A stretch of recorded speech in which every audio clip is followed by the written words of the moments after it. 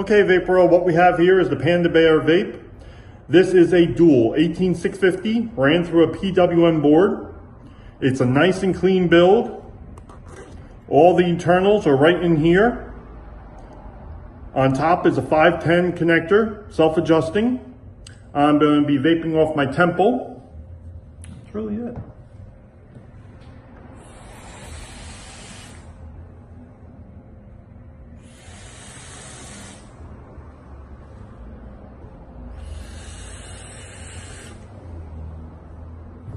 So this, along with all my builds, are available at that website.